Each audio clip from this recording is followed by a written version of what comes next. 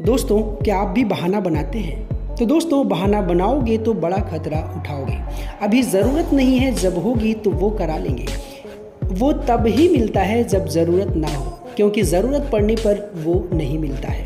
इसलिए समय रहते वो पहले कराएँ। दोस्तों, यहाँ पर वो शब्द का क्या अर्थ है?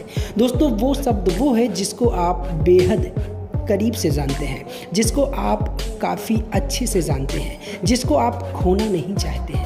आपके पास कौन सा और कितना वो है, इस चीज़ को निर्भर करता है आपकी सोच पर। दोस्तों, यहाँ वो का मतलब है बीमा। मैं क्यों कहता हूँ, आपको एक टर्म प्लान, एक लाइफ इंश्योरेंस एक हेल्थ इंश्योरेंस ज़रूर कराना चाहिए। अगर आप अपने घर के इकलौते कमाने वाले हैं, अगर आप अपने परिवार के इकलौते कमाने वाले हैं तो आपको एक बीमा ज़रूर कराना चाहिए। अगर आपकी कंपनी आपको बीमा नहीं देती है तो आप एक हेल्थ इंश्योरेंस ज़रूर कराएँ।